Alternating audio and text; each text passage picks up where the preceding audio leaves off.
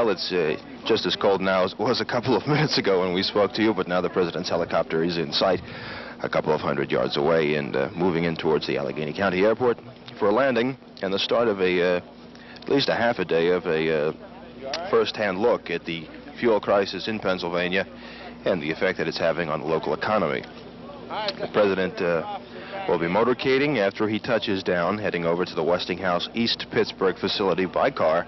Originally, they had planned to go over with one of the helicopters, but that was scrapped because of the weather conditions.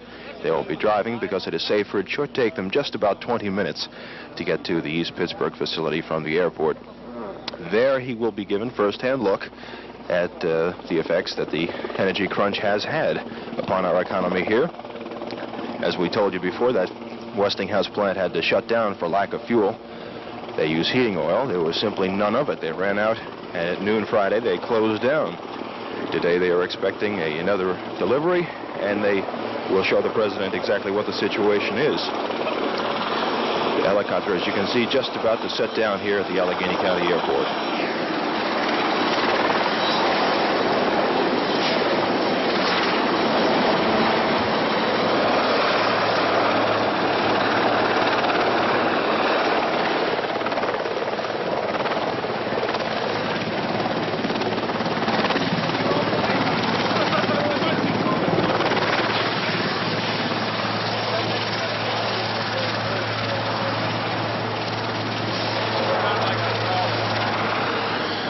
Chopper is now down.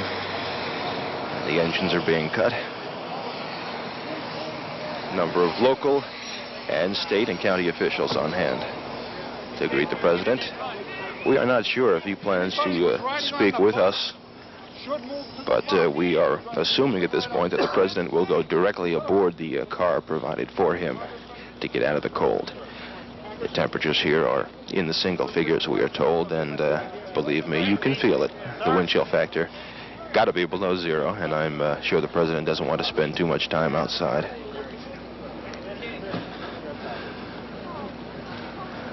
He will be accompanied, we are told, also by some uh, state and federal officials on this tour who uh, are riding aboard the helicopter with him. And we'll try to pick them out for you. A number of congressmen, we are told, Congressman Moorhead and Congressman Walgren from the uh, Pennsylvania and the greater Pittsburgh area are supposedly accompanying the president, and we'll try to pick them out for you. Hey, Bob. Come over.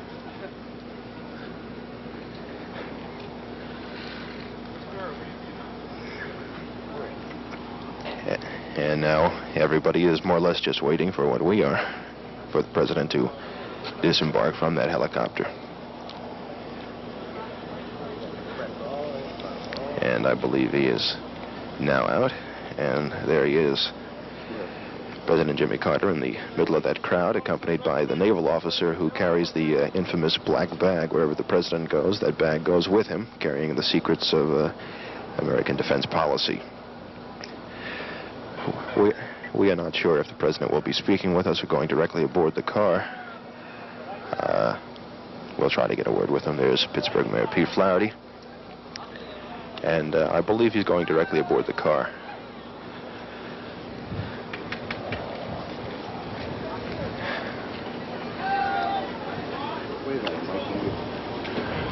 A large crowd has uh, come out here considering the weather. Most of them are inside. The president is going directly aboard the car, and he will motorcade over towards the uh, Westinghouse East Pittsburgh plant.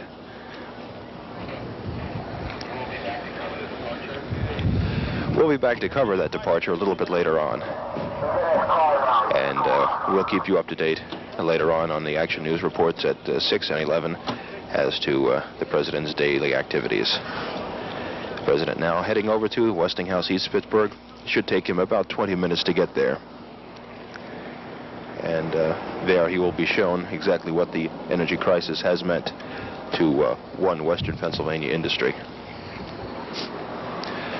So that's the story. The president is now down in Western Pennsylvania.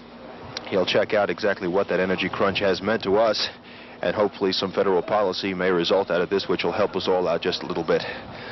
We'll be back later on to uh, bring you the president's departure from wind-chilled Allegheny County Airport. This is Mike Schneider live with the Channel 4 Action Cam.